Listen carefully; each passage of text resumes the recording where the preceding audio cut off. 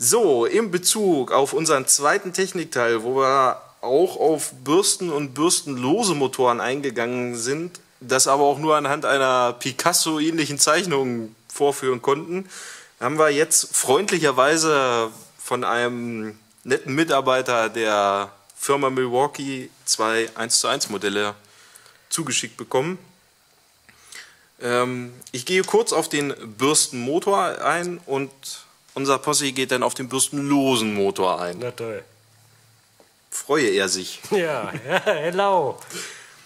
Das ist also ein Bürstenmotor. Warum Bürstenmotor? Der hat Kohlebürsten.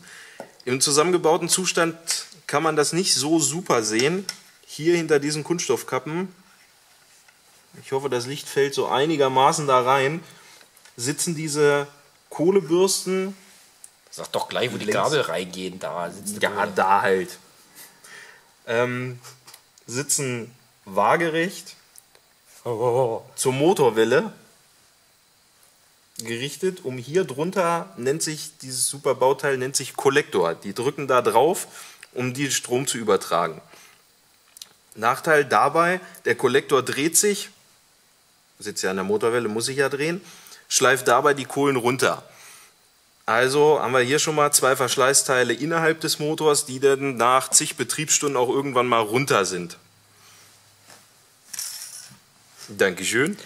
Hier sieht man das so ein bisschen, diese Schleifspuren von der Drehung, die sitzen natürlich nicht da drinne. Das ist jetzt von einem Winkelschleifer.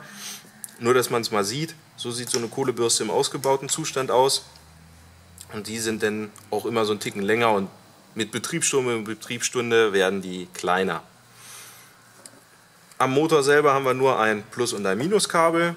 Und hier vorne, das ist speziell für ein Modell der Akkuschrauber, sitzt dann je nachdem auch eine andere Platte drauf oder andere Hersteller benutzen andere Haltevorrichtungen. Und hier vorne ist dann das Motorritzel, was ins Getriebe greift und unser Bohrfutter drehen lässt. Wie bin ich jetzt dran? Du darfst, wenn du möchtest. Also gut. Nun haben wir ja jetzt den bürstengetriebenen Motor gesehen. Jetzt kommt der bürstenlose Motor. Ein von der Optik fällt schon auf, der ist um einiges kürzer. Und der hat natürlich auch diese, deswegen heißt er ja bürstenlos. Ne? Ich meine, irgendwo muss er herkommen. Der hat diese Kohlen, die hier drin eh nicht zu sehen sind, auch nicht. Das heißt, man kann den Kern jetzt hier entfernen.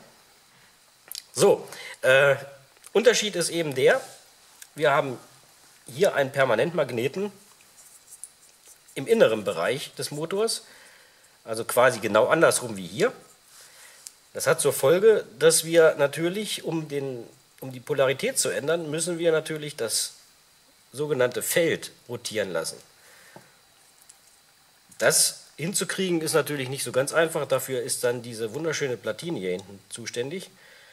Und äh, man möge mich fragen, wofür diese 1000 Kabel sind. Ich weiß es selber nicht. Jedenfalls bewirkt es das, dass das Feld, also Plus und Minus, ständig gedreht wird. Und da sich das dann, da sich die Pole abstoßen, dreht sich dann das Innenteil, also der Perm- Permanentmagnet in dem Fall. Ansonsten ist im Prinzip das gleiche dann hinterher, das heißt, diese Ritzel greifen ins Getriebe und übertragen die Energie oder Kraft. Äh, was natürlich jetzt noch dazu kommt, das haben wir im Technikteil ja schon erwähnt, äh, wir haben wesentlich höhere Effektivität, was diesen Motor angeht und auch äh, dadurch, dass der Kern, dass der Kern dementsprechend schwerer ist äh, oder schwerer gemacht werden kann, natürlich auch ein höheres Drehmoment im Vergleich zu so einem kleinen Modell hier. Ja, äh, falls noch irgendwelche Fragen auftauchen sollten, dann besucht uns hier im Laden oder ruft uns an oder schreibt uns und wir werden uns dazu weiter äußern. Genau. Habe ich was vergessen? Nein, ich denke nicht. Gut.